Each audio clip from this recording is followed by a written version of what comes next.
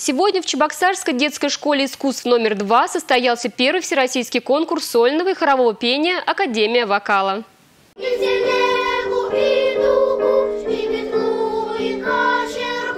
Бесконечные репетиции, прогоны и пробы. Волнение участников невозможно передать словами. Маленькие солисты из разных городов России уже готовы показать свое мастерство членам жюри. Мне очень нравится заниматься музыкой. Я с пяти лет хожу на хор, играю на фортепиано, также пою сольно. Конкурс – это как раз и показатель, насколько ты хорошо умеешь петь.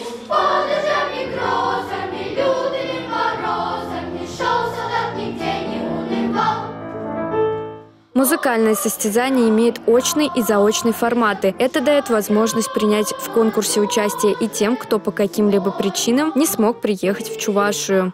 Когда-то был э, конкурс-фестиваль городской, когда далее он вырос в межрегиональный.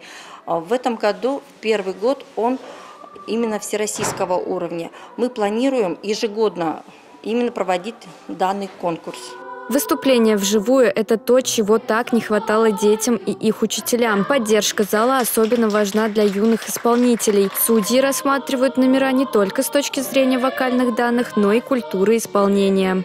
У малышей, если, допустим, нам, конечно, нужна чистая интонация, музыкальность, понимание о том, что они, о чем они поют, раскрепощенность, естественность. Вот именно от ребятишек. От старших, конечно, хочется, чтобы уже услышать какую-то базу вокальную. Главная цель фестиваля – выявление талантливых исполнителей, популяризация и развитие вокально-хорового пения. Для всех конкурсантов подобные мероприятия – еще один шаг на пути к мечте.